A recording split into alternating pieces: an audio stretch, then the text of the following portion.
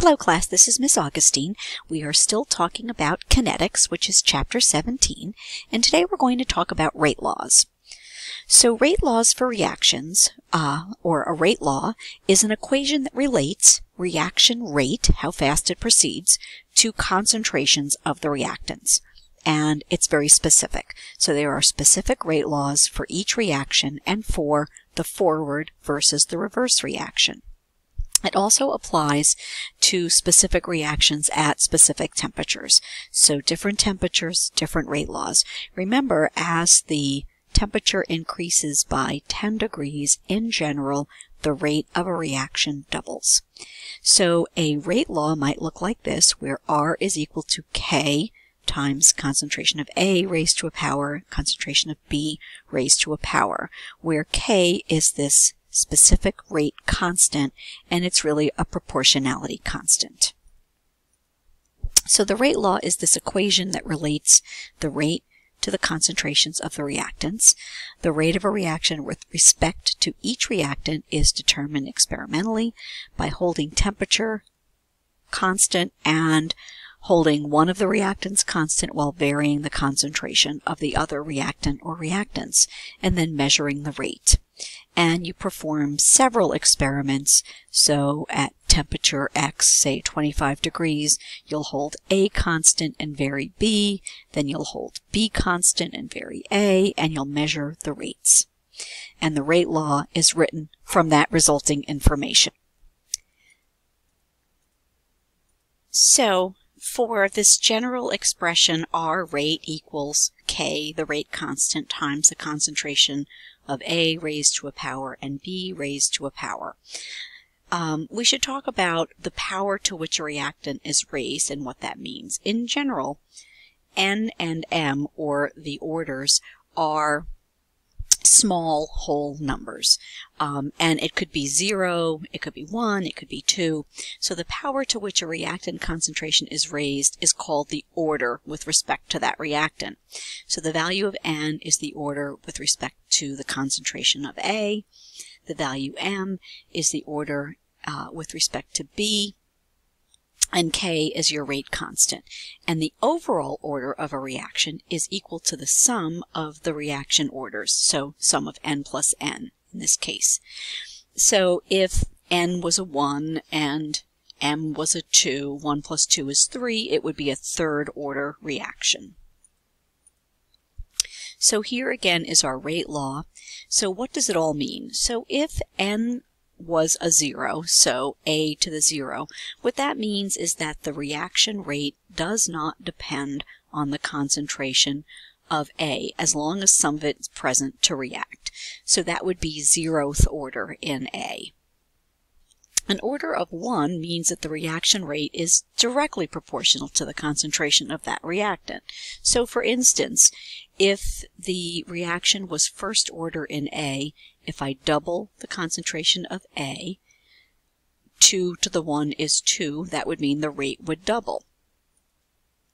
Whereas an order of 2 means that the reaction rate is directly proportional to the square of that reactant. So for instance, if I double 2 times the concentration of A, 2 squared is 4, that would result in a fourfold increase in the rate of the reaction.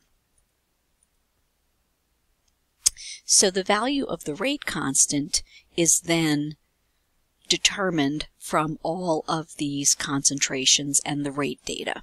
So the value of the rate constant is determined from the experimental data for concentration and observed rate. And again, it's very specific for every specific reaction and for each temperature. So the units of K will depend on the overall order, so they can get kind of freaky molarity cubed or molarity squared per second. So again, the units depend on what that overall reaction order is from the equation. It does not change for different concentrations of reactants or products um, but it does change at different temperatures. In general, as you increase the temperature, the value of the rate constant increases, and it also changes if a catalyst is present. So it would increase with the presence of a catalyst. So we need to talk a little bit about the reaction pathway as well.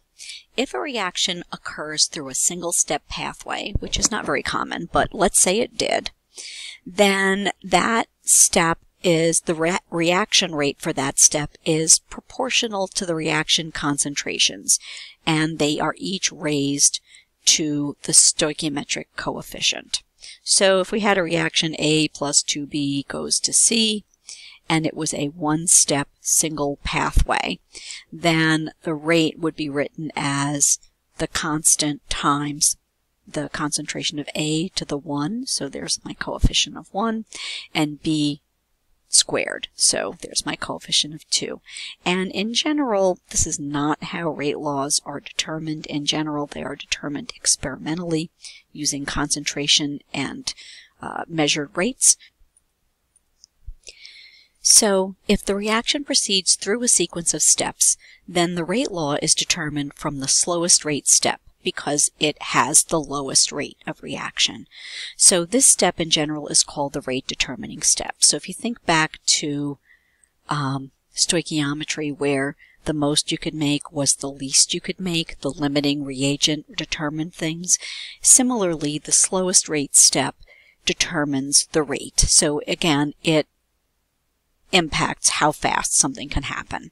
So for an overall reaction of nitrogen dioxide plus carbon monoxide to produce nitrogen monoxide plus carbon dioxide. The first step in this is two nitrogen dioxides collide to produce nitrogen trioxide and nitrogen monoxide. This is the slow step.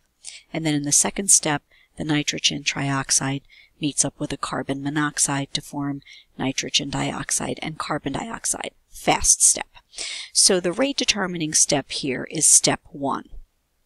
And um, the overall reaction sequence, you would be adding these two steps together and canceling out stuff that appears on both sides. So it would match this equation up here. But in terms of the rate law, what's happening here is the slow step is determined by the concentration of nitrogen dioxide, meaning nitrogen dioxide. So the rate is going to be the rate constant K times the molarity of nitrogen dioxide squared. So I thought we'd do an experiment. Here are three experiments were performed to measure the initial rate of reaction at room temperature, so 25 degrees C. And our reaction is a simple A plus B forms C.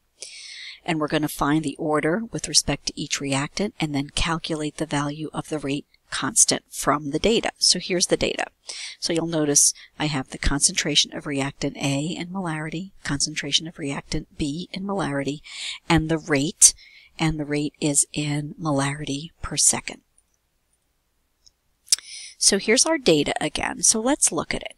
So when A is held constant, so here A is kept at 0.0800 molar, and the concentration of B was doubled from 0.03 to 0.06, we notice that the rate went from 0.006 to 0.012, so the rate also doubled.